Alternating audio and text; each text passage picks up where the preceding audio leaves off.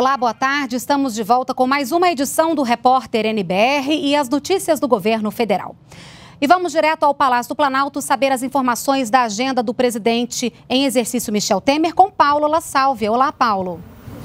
Olá, Renata, boa tarde. Boa tarde a todos que nos assistem na TV NBR. Bom, Renata, o presidente em exercício Michel Temer já seguiu para São Paulo, onde passa o fim de semana sem compromissos oficiais.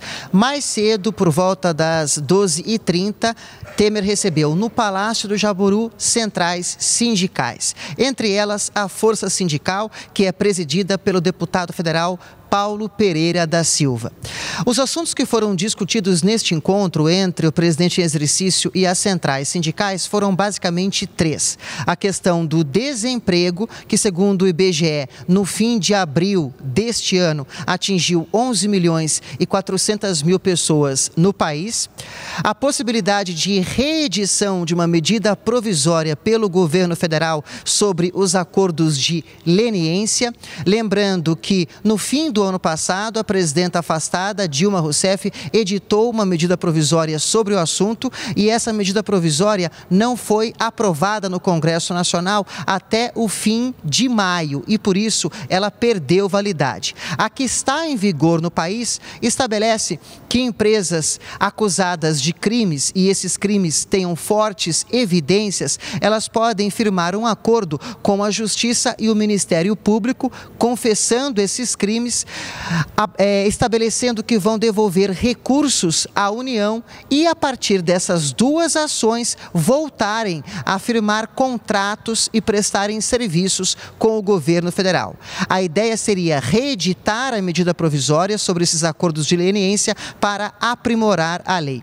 O terceiro assunto que foi discutido neste almoço entre o presidente em exercício Michel Temer e as centrais sindicais é a questão da reforma da Previdência Social no país. O governo federal quer promover a reforma para tornar o sistema previdenciário sustentável a longo prazo. Isso porque ocorrem no país atualmente três fenômenos simultâneos. A população brasileira está envelhecendo cada vez mais tarde, o sistema previdenciário ele é deficitário, ou seja, ele paga mais benefícios do que arrecada em contribuições e o brasileiro e a brasileira ainda se aposentam muito jovens em relação à maior parte dos países do mundo, numa idade que varia entre 54 e 58 anos.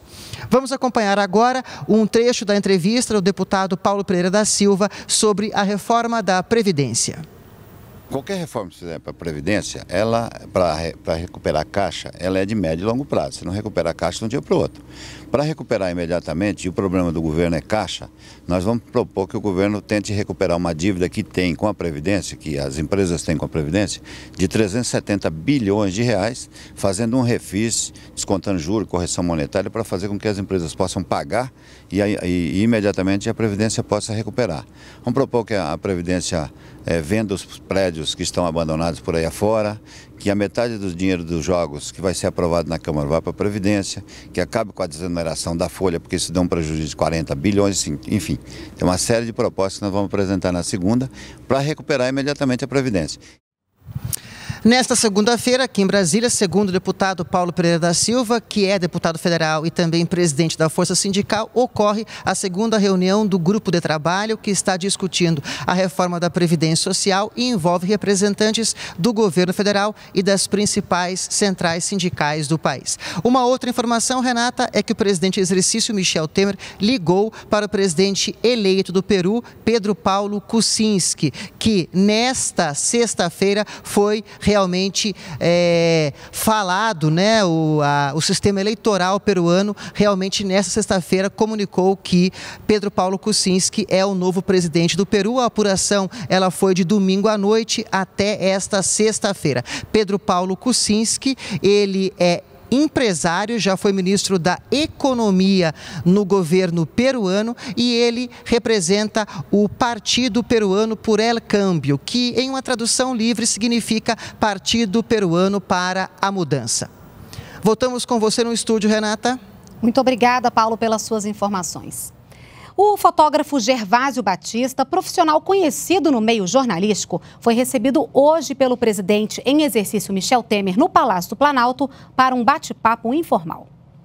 As lentes de Gervásio Batista testemunharam e registraram grande parte dos acontecimentos e das mais importantes personalidades nos últimos 50 anos. Presidentes do Brasil e estrangeiros, e até a Guerra do Vietnã. Nada escapou do olhar desse veterano do fotojornalismo. Mas hoje, o primeiro fotógrafo oficial da presidência da República passou para o outro lado da câmera e foi clicado pelos colegas ao ser recebido no Palácio do Planalto pelo presidente em exercício Michel Temer. A visita deve entrar na lista de histórias que o fotógrafo tem para contar.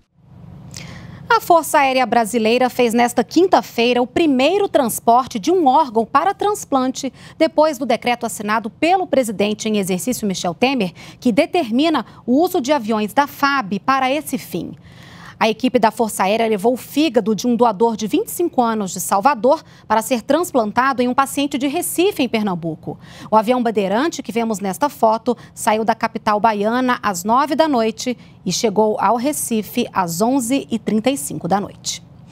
E hoje, no Rio de Janeiro, o ministro da Saúde, Ricardo Barros, conversou com jornalistas estrangeiros e tranquilizou atletas e turistas que virão para os Jogos Olímpicos sobre o risco de contaminação pelo Zika vírus não há nenhuma possibilidade de adiar a Olimpíada. Nós já estivemos na Organização Mundial de Saúde, no Comitê Olímpico Internacional, apresentamos todas as medidas que o Brasil tomou e eles já manifestaram suas notas de apoio à realização do evento. Não há nenhuma base científica para esta, essa proposta, não há nenhum fundamento para isso. Nós esperamos que as informações que disponibilizamos aqui, que estão no site da saúde, né, elas permitam que todos possam é, com segurança decidir vir ao Brasil, especialmente aqueles atletas que estavam em dúvidas. A partir desta informação, espero que eles revejam a sua posição e venham todos para a competição. As obras de transposição do Rio São Francisco foram vistoriadas hoje pelo ministro da Integração Nacional, Helder Barbalho. O empreendimento está com 87% das obras concluídas. Segundo o ministro, a previsão é que a obra fique pronta em dezembro. Nós temos a previsão de que uh, as obras integralmente, tanto do eixo norte quanto do eixo leste, estarão prontas até dezembro. O presidente Michel Temer estará, inclusive, anunciando na próxima semana, no dia 14, a conclusão em dezembro dos dois eixos. A partir daí, nós teremos a responsabilidade de fazer o enchimento dos reservatórios. O enchimento destes reservatórios serão gradativamente liberados de acordo com uh, a sua condição física. E estamos já na fase uh, de viabilizar com que as bombas uh, que estarão, estão, estarão viabilizando estes enchimentos possam estar sendo ajustadas. Lembrando que estas bombas foram compradas ainda em 2010 e precisam ser testadas para que não haja qualquer tipo uh, de surpresa. E ao momento em que as mesmas estejam em pleno funcionamento, nós vamos poder estabelecer o prazo exato para o enchimento de todos os reservatórios e com isto a funcionalidade da obra.